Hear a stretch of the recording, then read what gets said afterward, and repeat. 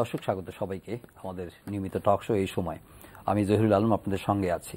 প্রিয় দর্শক, প্রধানমন্ত্রী ভারত সফর থেকে ফিরে আসার পরে প্রেস কনফারেন্স করেছেন এবং তিনি তার বিস্তারিত সফরের বর্ণনা দিয়েছেন।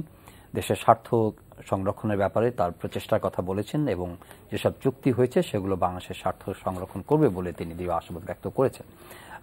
আবার আজ রাজনৈতিকভাবে তাদের বিরোধী পক্ষ বিএনপি জাতীয়তাবাদী দলের চেয়ারপারসন বেগম খালেদা জিয়া। তিনি প্রেস কনফারেন্স করেছেন এবং তিনি বলেছেন যে এই সফরে দেশের স্বার্থ সংরক্ষণ হয়নি, দেশের স্বার্থ বিসর্জন দিয়ে এসেছেন প্রধানমন্ত্রী।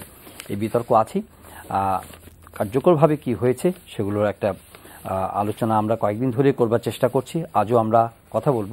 যেসব বিষয় নিয়ে চুক্তি হয়েছে, সমঝোতা স্মারক হয়েছে এবং দুদেশ আসলে কোন সম্পর্কের কোন অবস্থায় দাঁড়িয়ে রয়েছে এবং তিস্তার পানি চুক্তি কেন হলো না, আগামী দিনে সেটা হতে পারে কিনা সেসব বিষয়ে আজকের আলোচনায় থাকবে আবারও। আমাদের সঙ্গে যোগ দিচ্ছেন সুবীর ভৌমিক, বিবিসির সাবেক সংবাদদাতা এবং লেখক। স্বাগত আপনাকে। সুবীর ভৌমিক রয়েছেন সৌরভ হাসান, যুগ্ম সম্পাদক, দৈনিক প্রথম আলো। স্বাগত আপনাকে। সুবীর ভৌমিক, এই সফর নিয়ে অনেক আলোচনা হয়েছে, সফরের আগেও, সফরের সময়ও এবং সফরের পরেও আলোপ করছি আমরা। ভারতে আপনারা এই সফরটিকে কীভাবে দেখেছেন? এবং আপনি জানেন যে বাংলাদেশের প্রত্যাশার জায়গা সাধারণভাবে আমরা তিস্তার পানিকে অনেক বেশি গুরুত্ব দিয়েছি, কিন্তু সেখানে বাংলাদেশ একটু আশাহত হয়েছে। একটু নয়, অনেক বেশি আশাহত হয়েছে। যদিও আশা দিয়েছেন প্রধানমন্ত্রী নরেন্দ্র মোদী যে তার সরকারের সময়ই এই সমস্যার একটা সমাধান হবে। আপনি কীভাবে মূল্যায়ন করবেন? আমি নিজেও এই ব্যাপারে খুব আশাবাদী। তার প্রধান কারণ তিনটি।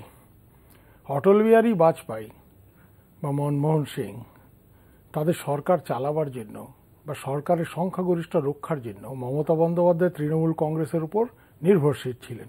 কোয়ালিশন পলিটিক্সের যে বাধ্যবাধকতা, সেটার বাইরে তারা যেতে পারেননি। এটা নির্বাচনী রাজনীতির অঙ্কের পাটিগণিতের ব্যাপার।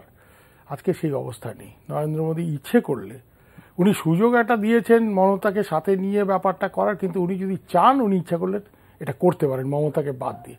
এখন প্রশ্ন হচ্ছে যে বাদ দিয়ে করলে কি সমস্যা হতে পারে? কিচ্ছু হবে না। তার কারণটা কি?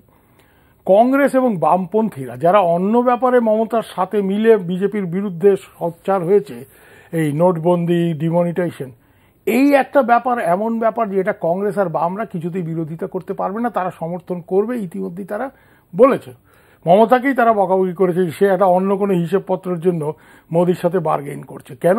মনমোহন সিংয়ের ড্রাফট নিয়ে এসেছিলেন এটা কংগ্রেসেরই উদ্যোগ ছিল এই চুক্তি করা বামপন্থীরা তো প্রথম থেকে এই ধরনের চুক্তির জন্য সেই জ্যোতিবাবুর আমল থেকে এই গঙ্গার পানি ইত্যাদি। তাহলে কি দাঁড়াবে? মমতা এক ঘরে হবে। কেন? কংগ্রেস এবং বাম যদি মোদীকে এই ব্যাপারে সমর্থন করে ধরে নিচ্ছি মোদী এককভাবে করল মমতা কিছুতেই রাজি হলো না। আর ভারতবর্ষের অন্য দলগুলো বাংলাদেশ তিস্তা এসব নিয়ে চিন্তিত না। তাদের একটা সার্বিক যে ব্যাপার আছে পাকিস্তান বিরোধিতার জায়গার থেকে তারা মনে করে বাংলাদেশ আমাদের বন্ধু। তার সবথেকে বড় কারণ কি? সিএসডিএস হিন্দু একটা সাম্প্রতিক সার্ভে করেছে। হিন্দু পত্রিকা আর centre for studies in developing society, যার প্রধান আশিস নন্দী, বিখ্যাত সাংবাদিক প্রীতিশ নন্দীর দাদা। তাতে দেখা গেছে সমীক্ষাটা এগারোটা শহরে হয়েছে, কলকাতা নয় বা ত্রিপুরা নয়, বাঙালি প্রধান অঞ্চল নয়, সারা ভারতে। সেখানে দেখা গেছে, পঁচিশ হাজার লোককে স্যাম্পল সার্ভে করে যে কোন দেশকে ভারতবাসী সব থেকে বেশি বন্ধু বলে মনে করে। সবাই ভেবেছিল রাশিয়া টাশিয়া এইসব হবে। Bangladesh. Forty eight percent said Bangladesh is our most trusted friend এবং আপনি যদি এবার মিডিয়া কাভারেজটা দেখেন, ভারতের মিডিয়া আপনারা আশাহত হয়েছেন, ভারতের মিডিয়া কিন্তু লিখে যাচ্ছে pay back time Sheikh Hasina should be given this that এবং মমতাকে যথেষ্ট মিডিয়া ক্রিটিসিজমের মুখে পড়তে হয়েছে, যে she is an eternal spoilsport সবসময় একটা গোলযোগ পাকান, গন্ডগোল পাকান, ইত্যাদি, এরকম একটা কিন্তু ট্রাভেল মেকার আর দু নম্বর হচ্ছে মমতা বন্দ্যোপাধ্যায় রিয়েল ইনফ্লুয়েন্স সারা ভারতের রাজনীতি কিছু না। উনি অল ইন্ডিয়া তৃণমূল কংগ্রেস পার্টির নাম কিন্তু essential it's a Bengal party বাইরে আর ওনার কি আছে? তো উনি এটা নিয়ে প্রধানমন্ত্রী যদি স্বপ্ন দেখেন ফেডারেল ফ্রন্ট ফ্রন্ট এইসব কিন্তু করতে পারবেন না। কারণ তিস্তা এমন একটা ইস্যু এটাতে যদি মোদি একটা ইনিশিয়েটিভ নেয় কিন্তু অপোজিশন স্প্লিট হয়ে যাবে। দু নম্বর খুব ইম্পর্টেন্ট সুবিধা আপনাকে এখানে একটু থামাবো আমি একটু শুনে আসব এই প্রসঙ্গে। জনাব সোরাম হাসান যেটা বুঝতে পারলাম যে এখানে মমতার চাইতো ক্রিটিক্যাল এবং পিভোটাল হচ্ছে মানে will goodwill of central government উনি যদি চান তাহলে উনি এটা করতে পারেন। কিন্তু এখানে মমতা ঢুকে পড়েছেন। মমতাকে ইনভাইট করা হয়েছে দিল্লিতে এবং তিনি বায়োল্যাটারাল টক্সে উনি ওখানে ছিলেন। চুক্তি স্বাক্ষরের সময় ওখানে ছিলেন তারপরে দেখা হয়েছে ডিনারের সময় ছিলেন। তো অনেকে বলছেন ইভেন আজকে বিএনপি চেয়ারপারসন বেগম খালেদা জিয়াও অভিযোগ করছেন যে এই ধরনের একটা সোভরেন দুজন সরকারের গভর্নমেন্টের আলোচনার মধ্যে একটা স্টেটের চিফ মিনিস্টারকে দাওয়াত করে সেই আলোচনার পার্টি করা সেটা আমাদের সার্বভৌমত্বের প্রতি হুমকি হয়েছে কিনা যখন সুযোগ আছে ওনারা নিজেরাই এটাকে একটা সলিউশনে আসতে পারতেন দুই সরকার। আপনার কি মত? আচ্ছা প্রথমত যে বিএনপি চেয়ারপারসন যে কথাটি বলছেন একেবারেই সেটি গ্রাহ্যে নেওয়ার নয়। এ কারণে যে সমস্যাটি বাংলাদেশ ভারতের এটি। এবং বাংলাদেশ একটি পক্ষ ভারত আরেকটি পক্ষ। আর ভারতের পক্ষে কাকে নেবে কার সঙ্গে আলোচনা করবে সে মুখ্যমন্ত্রী না অন্য কোনো রাজ্যের মুখ্য সচিব সেটি কিন্তু কিছু বিষয় না। অর্থাৎ সমস্যাটা তা এবং তিস্তা নিয়ে যে সমস্যাটি বাংলাদেশের পক্ষ থেকে সমস্যা না। কারণ এটি হচ্ছে চুক্তি চূড়ান্ত হয়েছিল। চূড়ান্ত হয়েছিল এবং ভারতের মমতার বিরোধিতার কারণেই কিন্তু দু হাজার এগারো হতে সালে হতে পারেনি। সুতরাং দু হাজার তেরো সালেও কিন্তু এখানে এসেছিলেন। তেরো না পনেরো? পনেরোতে এসেছিলেন। আচ্ছা, কথা আচ্ছা এসব কথা বলেছেন। কিন্তু আজকে যেমন আবার মোদী বলছেন আমার উপর ভরসা রাখুন আমরাই করব।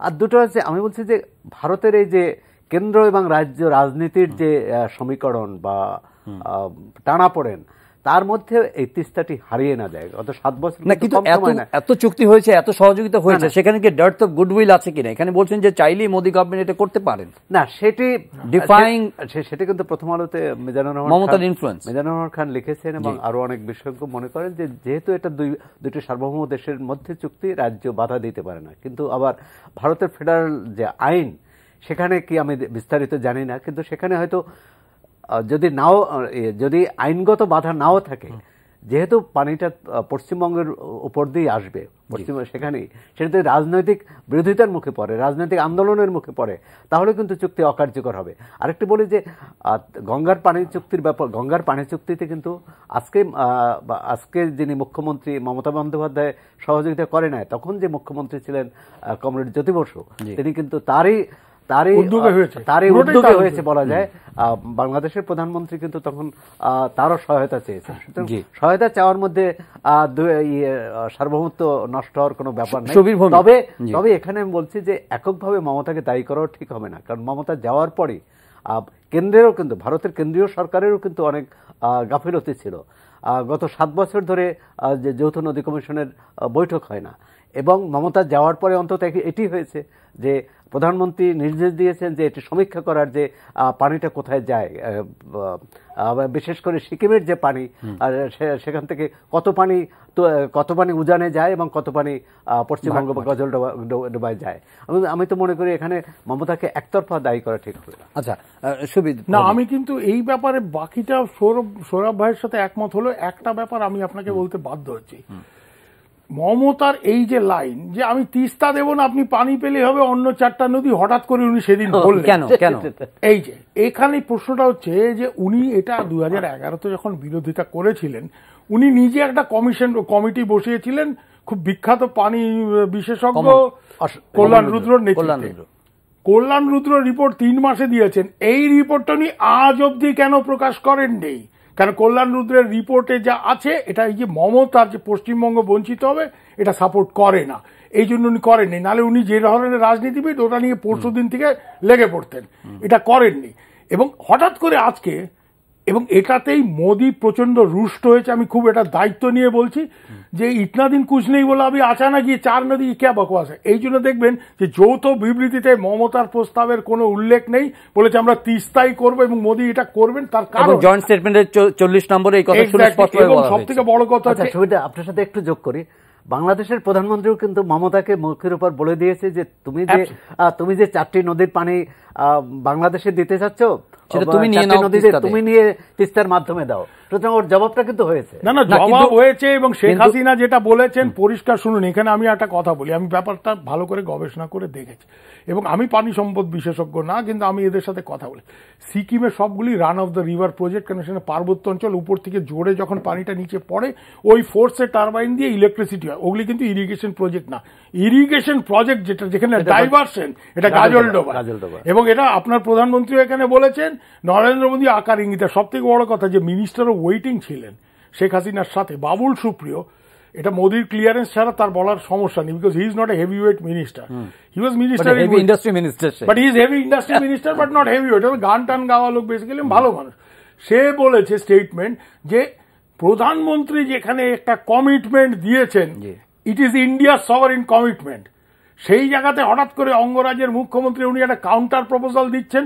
This is tantamount interference in a central subject that is foreign affairs আরেকটা জিনিস আপনাকে বুঝিয়ে দিচ্ছি নরেন্দ্র মোদী আমরা যতটুকু বুঝি উনি মনমোহন সিং বা বাজপেয়ী না। কম্পালশনও নেই পার্সোনালিটিও ডিফারেন্ট একটা সুযোগ উনি বহুদিন ধরে কোঅপারেটিভ ফেডারেলিজমের কথা বলেছেন যখন উনি মুখ্যমন্ত্রী ছিলেন যে রাজ্যকেও কনফিডেন্সে নিতে হবে। কিন্তু একটা জিনিস কিন্তু আমি বুঝতে পারছি আমি তাদের কাছের লোকজনের সাথে কথা টথা বলে এক মকা মমতা কো দিয়া। ইসকে বাদ আগার কুছ আর কমিটিও বসাচ্ছি। সিকিমে যাবে রিপোর্ট দেবে এরপরে যদি ঝামেলা হয় চুক্তিটা কিন্তু এককভাবে করবে। কারণ এটা যদি না করে এটা মনে রাখবেন ইট ইজ ইন্ডিয়ার সভারেন কমিটমেন্ট ইন্ডিয়ার মুখ পড়ে যাবে। কেন? Nobody else will sign any treaty with India যে ভাই তোমার সাথে চুক্তি করে তো লাভ নেই তুমি তো চুক্তি কার্যকর করো না। ফলে এটা কিন্তু ইন্ডিয়ার সভারেন কমিটমেন্ট আমি খুব দায়িত্ব নিয়ে বলছি Ajit Doval national security adviser উনি নিজে আমায় বলেছে ইয়ে মোদি মনমোহন কা বাত নেই আর ইন্ডিয়া কা সভারেন কমিটমেন্ট হয় this has to be honoured এক নম্বর দু নম্বর কথা হচ্ছে যে মমতার ইন্টেনশন নিয়ে প্রচণ্ড একটা প্রশ্ন উঠেছে যে তুমি হঠাৎ করে ছ বছর পরে এতদিন কিছু না বলে এই চারটা নদীর কথা বলছো। আরেকটা কথা আপনাকে বলে দুটো নেই। না না এগুলি আজে বাজে এগুলি তোরসা কি আর জল ঢাকা? না না এগুলি চোরসা জল ঢাকা রায় ঢাকা মানসি। এগুলি ছোট ছোট নদী বড় নদী থেকে মিশে যায় এর সংকোচ- কোনো সং- সংকোচ আছে না না সংকোচের কথা উনি বলেননি সংকোচটা উনি বলেননি সংকোচটা ভুটান থেকে আসে। Let us get this right this is very small basin এগুলি কোনো অল্টারনেটিভ না। এটা উনি ডিলে ট্যাকটিক্স হিসাবে ইউজ করছেন। She is playing somebody else's game Mamata বন্দ্যোপাধ্যায়ের সঙ্গে দুটো কথা শুধু আপনাকে বলে রাখি। উনি পাকিস্তানের হাই কমিশনকে তিনবার রিসিভ করেন রেড কার্পেট ওয়েলকাম দেন। কলকাতা প্রেস ক্লাব থেকে সতেরো জনের ডেলিগেশন পাকিস্তানের শিল্প দেখতে পাঠান। পাকিস্তান থেকে কি শিল্প দেখার আছে মশাই? পাকিস্তানে একটাই শিল্প আছে, সেটা আমার দেশেও এসছে, আপনার দেশেও এসছে। That is terrorism there is no other শিল্প ইন পাকিস্তান ওকে উনি পাকিস্তানের শিল্প দেখতে পাচ্ছেন বাংলাদেশের রাষ্ট্রদূতকে মিট করছেন না, বাংলা উপরাষ্ট্রদূতকে কলকাতায় মিট করছেন না, তারা আউতাস করছে। এরকম একটা অবস্থা উনি তৈরি করেছেন। উনি দুই বাংলার মধ্যে সম্পর্ক I am not bother about Delhi as a Bengali আমার প্রধান যে আমার এই দুই বাংলার সম্পর্ক যেটা জ্যোতিবাবুরা সবসময় দেখতেন বুদ্ধবাবুরা এটা উনি সর্বনাশ করছেন। সব থেকে বড় কথা এখানে এই যে উনি যদি এটা অল্টারনেটিভ হিসেবে ভাবতেন এবং উনি তো পানি বিশেষজ্ঞ না যদি ওনার পানি বিশেষজ্ঞরা এটা বলে থাকতো উনি দু হাজার বারো তেরো বা এখানে পনেরোতে এসে এই কথা বলেননি আজকে হঠাৎ করে ঝুলির থেকে একটা ঠাকুমার ঝুলির থেকে মাল বার করে ছেড়ে দিচ্ছেন বাজারে গোলমাল পাক। এই জন্য এটা কিন্তু প্রধানমন্ত্রী হ্যাজ গট ইট এক্সপার্ট এবং আমি আজকে আজকে টুডে আমার একটু কনফিউশন ছিল যে ওই যে অন্য আরও সাতটা নদীতে মানে চুক্তি করার কথা বলেছে না অভিন্ন নদীতে? তো সাতটা না আটটা আমি অমরদীপ সিংকে ফোন মনু খোয়াই হ্যাঁ, দুধ কুমার। অমরদীপ হ্যাঁ। সিংকে আমি ফোন করলাম ওয়াটার রিসোর্সেস সেক্রেটারি যে স্যার ও সাত হয় আট। বলা ও আটটা নদী including Teesta prime minister office has given a clear directive যে এই এই যে ইন্ডিয়ার অ্যাপ্রোচ একটা একটা করে নদী নিয়ে গিয়ে এইটা মোদি চান না। মোদি বলছেন একসাথে এবং। উনি নাকি শেখ হাসিনাকে বলেছেন যে তিস্তা তো হোগা ও তুস্তা ছড়িয়ে। আপনি অন্য আর কয়টা নদী যেটা আপনার জন্য প্রায়োরিটি আপনি দিন আমি একসাথে ড্রাফট রেডি করাবো this will go to Dhaka and my hunch is এটা হাঞ্চ কিন্তু it is the reasonable guess এই বছরের মধ্যেই শুধু তিস্তা নয় অন্য সাত আটটা অভিন্ন নদীতেও কিন্তু চুক্তি হবে ড্রাফট রেডি হবে। এটা। মমতা বিরোধিতা করার সত্ত্বেও কিন্তু এটা হবে। তার কারণটা হচ্ছে politically Modi has nothing to lose এটা আপনার হাঁস হাঞ্চ না। Politically is nothing to lose এটা আমি দায়িত্ব নিয়ে বলছি। তার কারণটা হচ্ছে কি জানেন? এখানে আপনার কংগ্রেস এবং লেফট তাফের সমর্থন করবে। অন্য ভারতের দলগুলো সরাসরি ভাবে বাংলাদেশ তিস্তা এসব নিয়ে মাথা ঘামায় না। তারা সার্বিকভাবে যে একটা ইন্ডিয়ান পলিটিক্সে পাকিস্তানি তারা মনে করে বাংলাদেশ আমাদের সাথে থাকবে বন্ধু। না উত্তর পূর্বাঞ্চলীয় রাজ্যগুলো সমর্থন করবে। উত্তর পূর্বাঞ্চলের রাজ্য কেন ত্রিপুরা সমর্থন কেন করবে। বলুন তো? একটা হচ্ছে যে আহ, ফেনী নদী সাথে যুক্ত। না না ফেরি টেরি নয় সৌরভ ভাই আপনি বোঝার চেষ্টা করুন। আসাম বিজেপি গভর্নমেন্ট তার ঘাড়ে কটা মাথা যে সে মোদীর বিরোধিতা করবে। দু নম্বর হচ্ছে বাকি রাজ্যগুলো বাংলাদেশের সাথে যার বর্ডার আছে আর মেঘালয় তো খুব মেঘালয় ইস কংগ্রেস মিজোরাম ইস কংগ্রেস তারাও এটা সাপোর্ট করবে।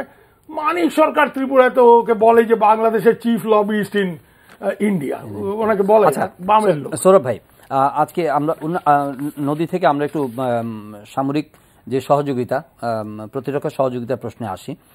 এটা প্রধানমন্ত্রী বারবারই বলেছেন যে যে উনি দেশের স্বার্থ বিসর্জন দিয়ে কিছু করবেন না। এই আস্থা ওনার উপরে রাখতে বলেছেন এবং সেরকম কিছু হয়নি এটাও বলেছেন। বা ভারত আমাদের পাঁচশো মিলিয়ন ডলার দেবে সমরাস্ত্র ক্রয়ের জন্য এবং এটা আমাদের অ্যান্ড আমাদের প্রায়োরিটিজের উপরে আমরা ঠিক করব। ফান্ডটা ওইভাবে গাইডেড হবে। কিন্তু বিএনপি চেয়ারপারসন বেগম খালেদা জিয়ার অভিযোগ যে এই প্রতিরক্ষা সমঝোতা সইয়ের মাধ্যমে বাংলাদেশের জনগণ শঙ্কিত বোধ করছে এবং আতঙ্কিত বোধ করছে এবং এটা আমাদের সার্বভৌমত্ব, আমাদের জিও যে স্ট্র্যাটেজিক লোকেশনস সব কিছু মিলে একটা ঝুঁকির মধ্যে ফেলে দিবে এ ধরনের সহযোগিতা।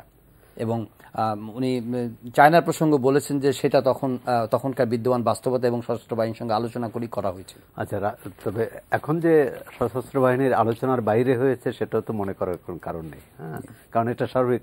যেহেতু যাদের যাদের কনসার্ন বা যাদের যাদের সঙ্গে সংশ্লিষ্ট তাদের সঙ্গে নিশ্চয়ই আলাপ আলোচনা করে হয়েছে। এবং এই সফরের সবচেয়ে আলোচনা তিস্তায় এসে তিস্তা কিন্তু হঠাৎ হঠাৎ এসলো এবং সেটা কিছুটা মমতার কারণে মমতা যে পরবর্তীকালে বিকল্প প্রস্তাব দিলেন।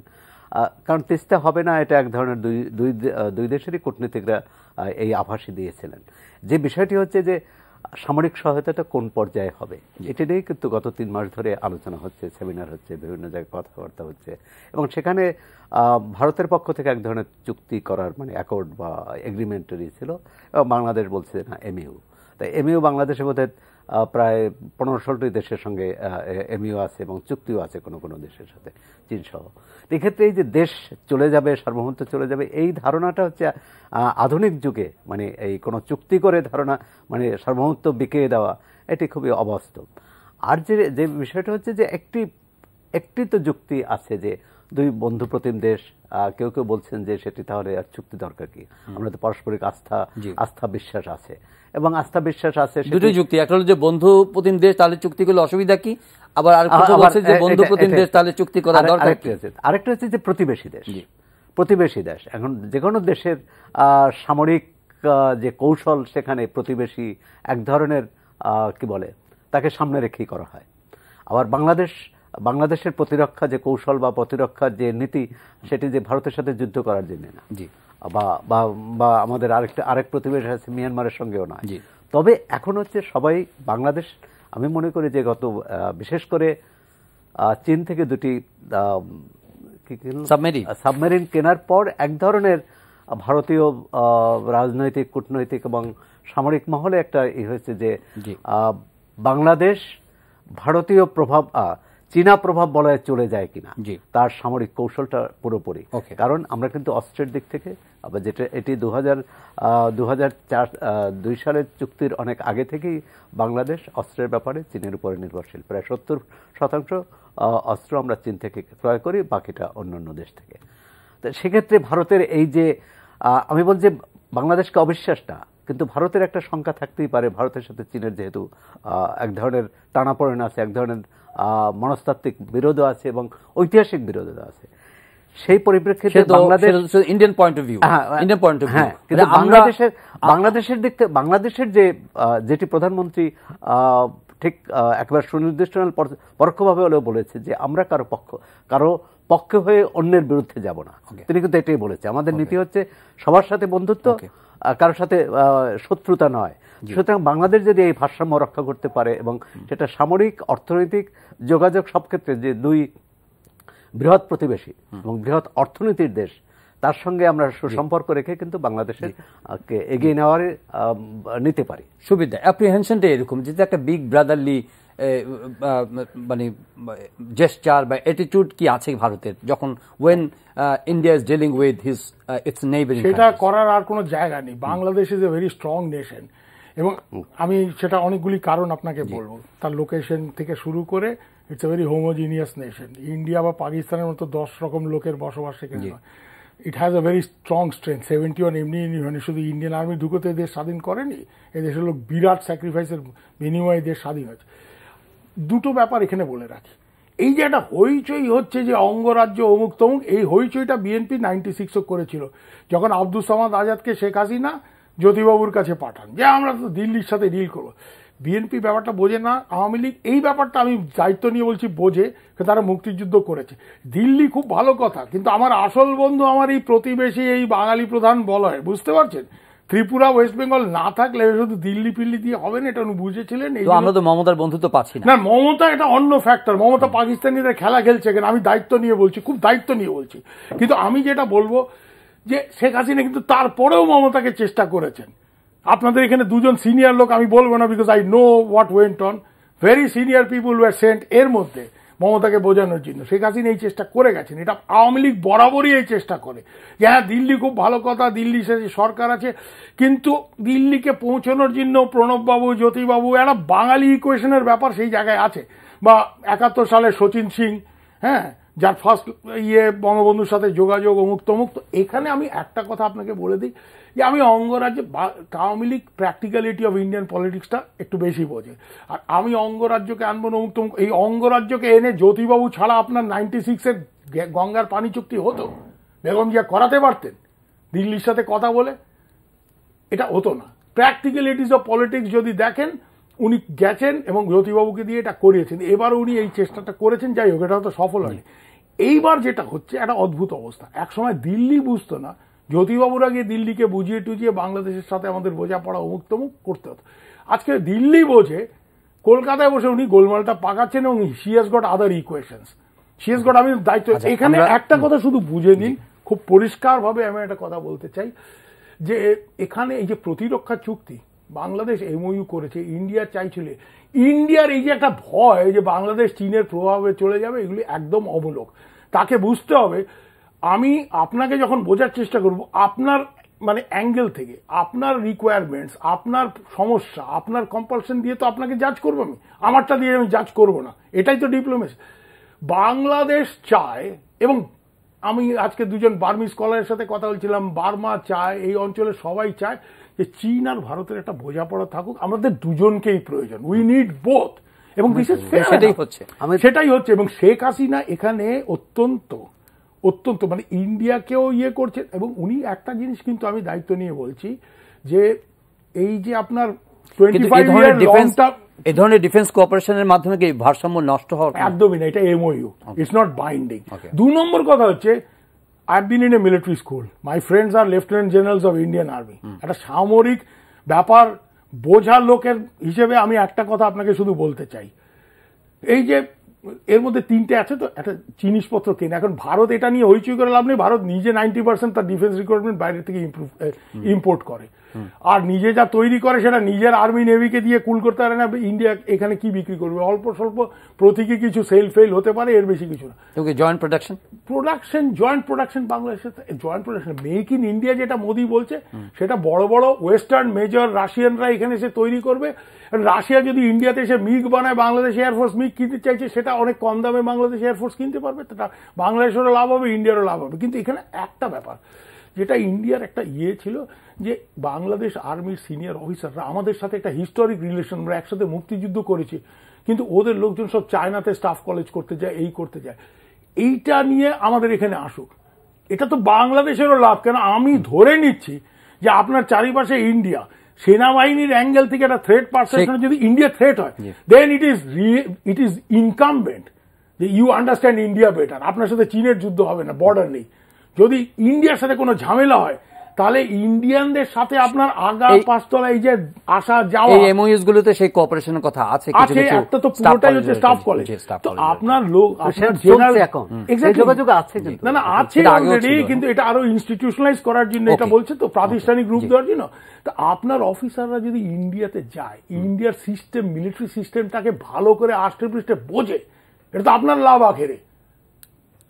ওকে একটা পয়েন্ট অফ ভিউ এখন পাকিস্তান বুঝে কি থাইল্যান্ডের আর্মির সাথে এই স্টাফ কলেজ করে লাভ নেই। আপনার যদি সমস্যা হয় মায়ানমার আর ইন্ডিয়া তা আপনি ইন্ডিয়ান সিস্টেমটা বোঝেন আপনার অফিসাররা যাক সেখানে স্টাফ কলেজ করুক। একটি প্রশ্ন হচ্ছে এরকম যে মানে এখানকার আপনাদের যেমন দিল্লির রাজনীতির কথা বললেন ওয়েস্ট বেঙ্গলের রাজনীতির কথা বললেন এটার মধ্যে তো এগুলো সব দেশেই আছে একটা ডিভাইসিভ নেচার তো থাকেই। তারপরে আমাদের দেশেও তো ভারত কেন্দ্রিক রাজনীতি সবসময় আছে আর এখনও চলছে এবং পক্ষে বিপক্ষে আলোচনা হচ্ছে। হ্যাঁ। স্বাভাবিক। কিন্তু একটা কমন পারসেপশন কমন পারসেপশন বলতে যে ডিভাইসিভ কমন পারসেপশন যারা বিরোধী কথা বলছেন তারা বলছেন যে যে আমরা যত বেশি ওনাদেরকে আপনাদেরকে ছাড় দিচ্ছি যত বেশি কনসেশন দিচ্ছি যত বেশি আপনাদের সিকিউরিটি কনসার্ন এলিভিয়েট করছি সেই তুলনায় ইন রিটার্ন আমাদের প্রাপ্তিটা অনেক কম। রাইট এটাকে এটা কীভাবে ভারতের পত্র ভারসাম্য আনা পত্রিকাতে যায়? আমি না আরও অনেকেই লিখেছে যে this is pay back time for India এটা আমি শুধু না আমি তো লিখি। আমরা ছয়শো বিলিয়ন আপনারা এক্সপোর্ট করেন আমরা ছয়শো মিলিয়নও করতে না না সেটা আপনার ইকোনমির একটা ব্যাপার আছে সেটা এখন ট্যারিফ ট্যারিফ এই জিনিসগুলি অ্যাড্রেস হচ্ছে সেটা বাংলাদেশের প্রোডাকশন বেসের লিমিটেশনের জন্য হচ্ছে। হ্যাঁ এটা নর্মাল ইকোনমিক একটা ব্যাপার কিন্তু এটা যেমন চায়নার সাথে আমাদের আপনি বলছেন যে টাইম টু পে ব্যাক যখন বলে তখন কি it's all about related to sharing water of common rivers না দ্যাট শুড বি ওটা একটা গুরুত্বপূর্ণ কারণ বাংলাদেশ কৃষকের দেশ ভারত কৃষকের দেশ।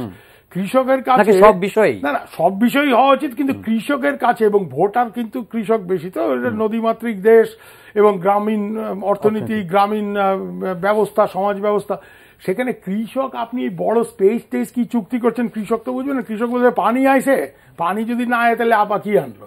দিস ইজ দ্য থিং তাই তো? এই জন্য এটার একটা সেন্ট্রালিটি থাকবে। কিন্তু এটা শুধু একমাত্র মানে যত চুক্তি আপনি করুন না কেন হ্যাঁ এটা সেন্ট্রাল হবে। Pani is a important thing এবং ওয়াটার শেয়ারিং এটা হবেই। কিন্তু এখানে আরেকটা ব্যাপার আছে। এই যে ট্রেড বা ইত্যাদি এটা আমাদের সাথে চায়নার আমরা বিরাট ডেফিসিট আছি। বিরাট ডেফিসিট আছে কিন্তু চায়নার প্রোডাক্টিভ ক্যাপাবিলিটি অনেক বেশি। ইন্ডিয়া থেকে র মেটেরিয়াল বেশি। সারা বিশ্বই তো সারা বিশ্বই তাই কিন্তু আমাদের সাথে ইয়ে আছে। আবার মায়ানমারের সাথে তো আমাদের একটা অ্যাডভার্স ব্যালেন্স তো এটা ব্যাপার নয় এটা আস্তে আস্তে অ্যাড্রেস হয়ে যাবে। এটা মূল ব্যাপার এই প্রতিরক্ষার যে ব্যাপারটা আপনি যেটা বলেছেন আমি দুটো ব্যাপার আপনাকে বলব। এই যে ইন্ডিয়ার যে একটা এক্সট্রা ইয়ে ছিল যে ইন্ডিয়াতে কিন্তু বাংলাদেশ সাবমেরিন কিনেছে এটা নিয়ে সমস্যা না। চায়না সে কিউ খরিদা এই ভাবছে যে চায়নার এর মধ্যে একটা কোনো খেলাধুলো থাকতে পারে। I think these are old submarines হ্যাঁ আর সাবমেরিন নিয়ে যে এই হইচই ইন্ডিয়াতে একটা সেকশন করেছে this is all stupid thing কেন চায়? এটা আপনি জানেন তো, আপনি এই যে আপনি ওইখান থেকে গিয়ে দুটো পানির বোতল কেনার মতো তো সাবমেরিন কেনা না, পাঁচ বছর আগে অর্ডার দিয়েছে। একটা general staff policy qualitative requirement বিচার করে ডিফেন্স যখন একটা মানে সরকারের কাছে বলে, আমার এই ইকুইপমেন্ট দরকার, সরকার ওটা প্রসেস করে তারপর ওটা আনার ব্যবস্থা হয় সেটা তখন অর্ডার দিলে ওটা তৈরি হয় অ্যান্ড এই মিন ক্লাস সাবমেরিন এগুলি অনেক পুরনো সাবমেরিন এগুলি কোনো না ইন্ডিয়ান কিন্তু নতুন কিনলে কি কোনো সমস্যা না নতুন কিনলেও সমস্যা নেই কারণ ইন্ডিয়ান নেভিতে আপনার চোদ্দটা সাবমেরিন আছে That- দুটো submarine that- that's the point that's the point it's not এটা about নিয়ে old and new so এটা আমি সেদিন বিনা সিকরিকে বলেছিলাম আপ লোক इसको উনি लेके इतना हल्ला क्यों कर रहा है फालतू বে- এটা একটা স্কেয়ার আসলে কি জানেন তো? আমার নিজের একটা ধারণা হয়েছে যে সেকশনস অফ ইন্ডিয়ান বিউরোক্র্যাটস যে আমি পানি দিতে পারিনি সাবমেরিন টাবমেরিন নিয়ে করে আমি একটু এই- এইগুলি আছে ছোটোখাটো খেলা। কিন্তু আলটিমেটলি লং রানে আমি একটা কথা আপনাকে বলে দিই from Bangladesh point of view এবং আমরাও এটা চাই কারণ আমি ত্রিপুরার ছেলে ওয়েস্ট বেঙ্গলে থাকি প্রতিবেশী ইয়েতে। ইন্ডিয়া বাংলাদেশ একটা ইকুয়েশন যেমন আছে আমাদের একটা নিজস্ব ইকুয়েশন থাকবে। এই নেবারিং স্টেট অ্যান্ড ইয়ে এটা ইনএভিটেবিলিটি এটা যদি কেউ বলে অঙ্গরাজ্য টজ্য সে প্র্যাকটিক্যাল ব্যাপারটা বোঝে না।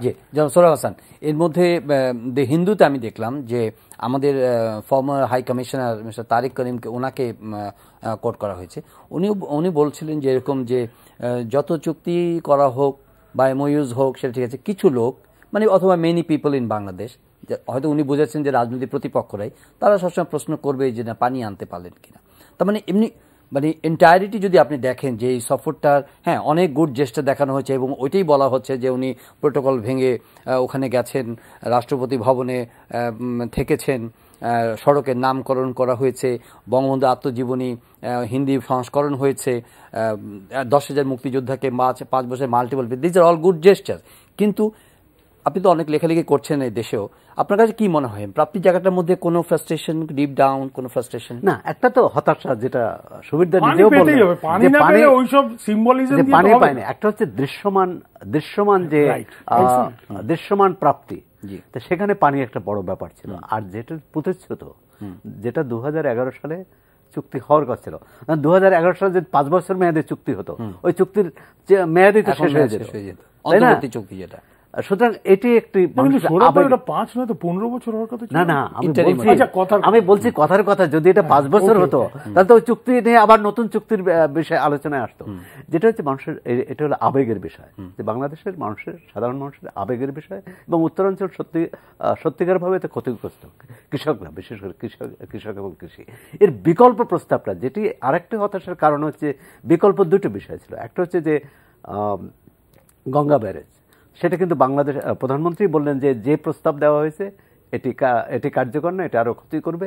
আরেকটি যেটা বলছে সেটার ব্যাপারেও বেশ আহ, আমি জানি না যে যারা কারিগরিভাবে বিশেষজ্ঞ তারা বলতে পারবেন যে বাংলাদেশ ভারত সীমান্তবর্তী এলাকায় দুই দেশ মিলে এরকম কোনো রিজার্ভার করা আদৌ সম্ভব কিনা?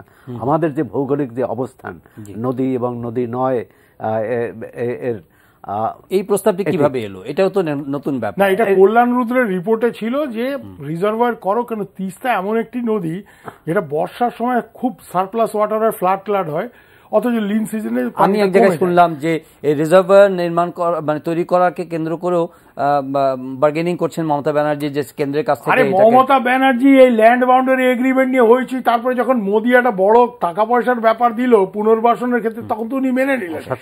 এখানে একটা যদি আপনার টাকা পয়সা দেয় এই রিজার্ভারকে কেন্দ্র করে মমতার এখন টাকা পয়সা খুব দরকার ডিমনিটেশনে পার্টি ফান্ড টান শেষ হয়ে গেছে বুঝতে পারছেন? ওনার এগুলি দরকার এবং এই জন্য এই ধরনের একটা জিনিস আনলে একটা তো মুখ রক্ষার রাজনীতি হবে দু নম্বর হচ্ছে একটা ফান্ড ফ্লো হবে এবং ওয়েস্ট বেঙ্গলের অর্থনীতির অবস্থা খুব খারাপ। এ তো পপুলিস্ট রাজনীতি করে সব ওই দু লক্ষ টাকা একে দাও ওকে দাও। অমিত মিত্র যে গুড ইকোনমিস্ট কিন্তু অমিত মিত্রকে উনি বলেন যে আপনি অর্থনীতি বোঝেন একটু রাজনীতি বোঝার চেষ্টা করেন। নানা তো এর জন্য সেন্ট্রাল ফান্ড আনার একটা ব্যাপার ট্যাপার আছে। যাক এটা। ভারতের রাজ্য রাজ্য কেন্দ্রের যে এটা হ্যাঁ, এর বাইরে গিয়ে অথবা আমরা প্রয়োজনে মমতা বন্দ্যোপাধ্যায়কে রাজি করে কীভাবে এই তিস্তার পানিটা আনা যায় এটাই তো হচ্ছে। প্রধানমন্ত্রী কিন্তু বলেছে যে তুমি যে মমতাকে বলেছে যে তুমি যে ওই চারটা নদী দিয়ে বাংলাদেশে পানি আসতে বলছো ওই চারটা নদীর পানি তিস্তার মাধ্যমে বাংলাদেশে আসে। হ্যাঁ ফিট করো। দাও পারে। এখন আরেকটি হতাশার কারণ হচ্ছে যেমন অনেক এই যে জন মানে যে কথাটি বললেন যে সুবিধা জনগণের সাথে জনগণের সম্পর্ক সেটি কিন্তু শুধু কূটনীতিক না। শুধু একজন লেখক বা সাংবাদিক নয় এটি সাধারণ মানুষের মধ্যে এইটা এক্ষেত্রে বাংলাদেশ এবং ভারত কিন্তু বাংলাদেশের সর্বোচ্চ সর্বোচ্চ পর্যটকের বাংলাদেশি পর্যটকের দেশ। যে পৃথিবীতে যত পর্যটক ভারতে যায় গত বছরের হিসাব হচ্ছে যে বাংলাদেশের সংখ্যা হচ্ছে সবচেয়ে বেশি। তারপর তারপর তারপর যুক্তরাষ্ট্র। And even rem- uh, reverse remittance also আচ্ছা আচ্ছা রিভার- high. তো সেক্ষেত্রে বাংলাদেশ পক্ষ থেকে যেসব চুক্তি হয়েছে বিশেষ করে বিদ্যুৎ জ্বালানি এবং বিনিয়োগ এর হয়তো দূরবর্তী আমরা সুফল পাবো। দূরবর্তী সুফল পাব। মানে দীর্ঘ মেয়াদ দীর্ঘমেয়াদে সুফল পাবো। কিন্তু এই যেটি এখনকার প্রয়োজন সেখানে এখানেই হচ্ছে একটি হতাশার জায়গা। আরেকটি হচ্ছে যেমন আরেকটি দৃশ্যমান বিষয়। যেমন ভারতের টিভি আমরা আমাদের দর্শকরা দেখতে পারে। বাংলাদেশের টিভি ভারতের দর্শকরা দেখতে পায় না। এখন এটি যতই সব থেকে বেশি ক্ষুব্ধ আমরা বাঙালিরা। কেন? আমার টিভিতে cable operator Telugu Tamil channel দিচ্ছে যেই সব হরিদাস পাল ভাষা আমি কিছু বুঝি না। না কিন্তু বাংলাদেশের টিভি আচ্ছা, আমরা দেখতে পাই। আচ্ছা এখানেও আমার একটা প্রশ্ন যে এই তেলেগু তামিল তো ভারতের সেটা তো আমি বুঝি আচ্ছা, না। আচ্ছা নেপাল আমাকে কেন আচ্ছা, দেখতে হবে? নেপাল বা নেপাল বা পাকিস্তানি যে চ্যানেল তার দর্শক কত যে যে তারা ওখানকার কেবল অপারেটররা ওই তারা কেবল অপারেটররা বিরাট ফি দেয়। ওই বাংলাদেশের চ্যানেলগুলি সেই ইয়ে নেই দেখে সেটা- আচ্ছা যে কোনো টাকা পয়সার আমি বলছি যে এটা যে কোনো যেমন আহ, সাবেক তথ্যমন্ত্রী আহ, কংগ্রেস কংগ্রেসের তথ্যমন্ত্রী কিন্তু বলেছিলেন যে আমরা একটা ব্যবস্থা। আমরা একটা ব্যবস্থা করব যে একটা সরকারি উদ্যোগ থাকতে পারতো। এখন আমি আমি আমি এখানেও এখন- এখানেও কেন্দ্রের কাছ থেকে একটা সরকারি ভারতের কেন্দ্রীয় সরকারের কাছ থেকে অনেকে এটাকে উদ্যোগ সাবস্ক্রাইব করেন না যে কেন্দ্র সরকার কেন উদ্যোগ নেবে? আর প্রাইভেট মানে ব্যক্তিগত উদ্যোগে আপনারা না না কেন্দ্র সরকার উদ্যোগ নিতেই পারে তার কারণটা হচ্ছে বাংলাদেশকে যদি সে গুরুত্বপূর্ণ একটি হ্যাঁ। প্রতিবেশী বলে মনে করে নিতেই পারে গুরুত্ব। তো তাহলে নিতেই পারে এবং আমরা সেটা আর কেবল সরকার তো শুধু হাওয়াতে বসে নাই ভাই আমিও ভারতের নাগরিক আমার যদি তুমি তামিল বা ওদের প্রবলেম গুলি দেখো আমারটা কেন দেখবে I want to see Bangladesh channel I don't want Telugu channel I don't want Tamil channel কত? পাঁচ লাখ না কত লাখ টাকা চাচ্ছে? তো পাঁচ লাখ পাঁচ লাখ রুপি ভারতের ভারতের জন্য এটা খুব বেশি না। সেখানে সেখানে ভর্তুকি দিতে পারে। ওকে আচ্ছা সরকার তো সহায়তা ভূমিকা। আরেকটা বিষয় সেটা হচ্ছে যে যে ইরিটেন্ট তো কিছু কিছু ইরিটেন্ট তো আছেই দু দেশের মধ্যে। অনেক ভালো সিগনিফিকেন্টলি রিলেশনস মানে হ্যাভ বিন স্কেলিং আপ অনেক কিছু সহযোগিতার ক্ষেত্র হয়েছে। মহাকাশ সহযোগিতা থেকে শুরু করে বেসামরিক পারমাণবিক যে শান্তিপূর্ণ ব্যবহারের যে চুক্তি, এগুলো একটা নতুন নতুন ক্ষেত্র। আমাদের মধ্যে exchange of officials judiciary bureaucracy সেখানে আছে। কিন্তু নাম্বার অফ বর্ডার ডেথস যেটা বর্ডার কিলিং নামে আমরা এখানে আলোচনার মধ্যে আছে। এই বিষয়ে এই জয়েন্ট স্টেটমেন্টে যেটুকু আছে যেগুলো মানে কম্প্রিহেন্সিভ বর্ডার ম্যানেজমেন্ট আরও স্ট্রেনদেন করা আরও যোগাযোগ বাড়ানো যৌথ- যৌথ যৌথ উদ্যোগ এটা প্রথম দুই হাজার পনেরোতেও আমরা দুই প্রাইম মিনিস্টারের খুবই স্ট্রং কমিটমেন্ট দেখেছি যে যে না এটা পর্যায়ক্রমে জিরোতে নিয়ে যাওয়া সেটা কি আপনার মনে হচ্ছে যে ওই জায়গার মধ্যে খুব দৃশ্যমান কোনো অগ্রগতি হয়েছে? হয়েছে মানে বিএসএফ কতগুলি উদ্যোগ? তো বিএসএফ কে দিয়ে নেওয়ানো হয়েছে যে লেথাল ওয়েপন ইউজ করবে না পেলেট গান ই করবে না। বিএসএফ অবশ্য তার কাউন্টার লজিক দেয় যে স্মাগলার্স আর আর্মড অমুক শুনুন আমি এই ব্যাপারে একটা লেখা ঠিক আপনার প্রধানমন্ত্রী ভিজিটের আগে লিখেছিলাম time to act on Felani দেখবেন ইন্টারনেটে গেলে আপনি পাবেন। আমি বলেছি যে time to act on Felani হ্যাঁ কেন? আমি বলেছি যে শেখ হাসিনা একটা ম্যাসিভ জেস্টার করেছে। যে যেসব ভারতীয় সৈন্য আমার দেশের স্বাধীনতার জন্য মারা গেছে, তাদের ফ্যামিলিদের মিট করবেন, অ্যালবার্ট এক্কার নামে ওই নামাকরণ ইত্যাদি। It was India's India should have done this যে এই যে ফেলানি, ফেলানির কেসে আপনি দেখবেন যে ওয়েস্ট বেঙ্গলের একটা মানবাধিকার সংস্থা, মাসুম, মানবাধিকার সুরক্ষা মঞ্চ, তারা লড়াই করে ভারতের ন্যাশনাল হিউম্যান রাইটস কমিশনে কেসটা নিয়ে গেছে। National human rights commission has given an observation যে this was clearly an excess use of force unarmed girl there was no need for firing এবং তারা ভারত সরকারকে বলেছে পাঁচ লক্ষ টাকা কম্পেনসেশন দাও but that BSF has been protecting BSF কিন্তু ওই ওই যে যে সোলজার এই গুলিটা করেছিল দুবার এই ট্রায়াল ফায়াল করে তাকে বাঁচাবার একটা চেষ্টা করছে। This was the time government of India should have force the BSF to give punishment এটাই প্রতীকী জেস্টারটা করা খুব দরকার ছিল যেখানে শেখ হাসিনা এই ধরনের একটা জেস্টার করছে। এখন ইন্ডিয়ার নানা রকম সমস্যা আছে বিএসএফ আর্মি এদেরকে চটাতে চায় না কাশ্মীর ফাশ্মীর অমুক তমুক। কিন্তু আমি নিজে এটা লিখেছিলাম যে ফেলানি ইস্যুতে একটা মেয়ে এরকমভাবে বর্ডার ফেন্সের উপর তুমি তাকে গুলি করছ আর দু নম্বর কথা বর্ডার ফেন্স নিয়ে আমাদের একটা বক্তব্য আছে। ত্রিপুরাতে দেখবেন বর্ডার ফেন্স নিয়ে প্রতিবাদ হয়েছে। কেন? অনেকে মনে করেছে এটা আমার লাইভলিহুড এটাই ত্রিপুরার লোকজনও মনে করে। এখন তো এখন তো আসামে আপনার বর্ডার ফেন্স আসাম আর ত্রিপুরা আলাদা না কিন্তু ওখানে তো বর্ডার ফেন্স করার জন্য আপনার সুপ্রিম কোর্ট থেকে বলা হচ্ছে যে সেন্ট্রাল গভর্নমেন্ট টাকা কেন দিচ্ছে না? সুপ্রিম কোর্টের এই জাজ সে কোথাকার লোক আপনি জানেন? সে আসামের লোক।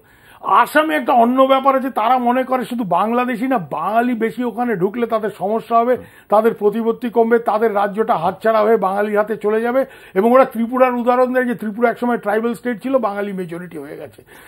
আসামের ব্যাপারটা পুরোপুরি আলাদা কিন্তু এখানে আপনি দেখবেন যে west বেঙ্গলও this is not an issue আর ত্রিপুরাতে তো উল্টো বর্ডার ফেন্স যাতে না হয় তার জন্য একটা ইয়ে করেছে কারণ তারা মনে করে যে স্বাভাবিক আমি এই যে বাংলাদেশের জামাটা পরে আছি ত্রিপুরার বাজারে কিনেছি দুশো টাকা দিয়ে। আমাকে কি আপনি যেহেতু আমি ভারতের নাগরিক আমাকে কি আপনি বাধ্য করতে পারেন যে বোম্বের ছশো টাকার জামা আমাকে কিনতে হবে এই কোয়ালিটিতে আমি কিনবো না? সো আই সেটা আপনি যদি স্মাগলিং বলেন এটা আপনার ব্যাপার এটা আমার মনে হচ্ছে this is legitimate border trade এখানে আরেকটা ব্যাপার আছে যে বিএসএফ পাকিস্তান বর্ডার মেনটেন করে যেভাবে খুব অ্যাগ্রেসিভলি এই ইউনিটগুলি যখন এখানে আসে তাদের একটা রিওরিয়েন্টেশন করা দরকার। যে ভাই this is a friendly border with a friendly country তুমি পাকিস্তানে যেভাবে হেভি হ্যান্ডেড ম্যানেজ করো কেন পাকিস্তানিরাও সেটা করে? বাট সেখানে তো number of deaths and killings is not that much high না নাম্বার অফ কিলিং ডেথ মানে ওখানে তো আর ক্যাটেল স্মাগলিং হবে না ওখানে ড্রাগ স্মাগলিং হয়। এবং ড্রাগ স্মাগলিং থেকে বিএসএফ নোট কামায় পাকিস্তানি রেঞ্জাররাও কামায়। তো এখানে একটা ব্যাপার হচ্ছে যে ফ্রেন্ডলি কান্ট্রির সাথে মুখে ফ্রেন্ডলি কান্ট্রি বা হোলির দিনে এসে বিডিআর কো বিজিবি কো মিঠাই খিলাও এটা না। তোমাকে যেটা করতে হবে সেটা হচ্ছে এখানে একটা প্রপার অল্টারনেট বর্ডার ম্যানেজমেন্ট যে মানে. পাকিস্তানের সাথে যে স্টাইলে আপনি বর্ডার ম্যানেজ করবেন এটা এখানে করার কোনো দরকার নেই। জি আমাদের একদম শেষ পর্যায়ে দুই মিনিটে যদি বলেন। আচ্ছা, না আমরা অন্য প্রসঙ্গে যেতে পারব না। এখানে বিএনপি চেয়ারপারসন গণতন্ত্রের প্রসঙ্গে যখন আসছে এখানে জয়েন্ট স্টেটমেন্টও কিছু বলা হয়েছে। তো সেটা প্রসঙ্গে তিনি বলেছেন যে বাংলাদেশের যে গণতন্ত্র আহ, সুরক্ষা করা সেই ব্যাপারে ভারতকে আহ, মানে কোনো দল পক্ষপাত ওনারা মানে, না হোক এটাই চাচ্ছেন। না সেটা তো মানে যে কোনো দেশেরই নীতি হওয়া উচিত। জাতীয় রাজনীতির যে আমরা দুই দেশের সম্পর্কটা দুই দেশের সাথে। আবার দলের সাথে দলের সম্পর্ক হতে পারে সেটা ভিন্ন। কিন্তু রাষ্ট্রের সাথে দলের সম্পর্ক না রাষ্ট্রের সাথে রাষ্ট্রের সম্পর্ক।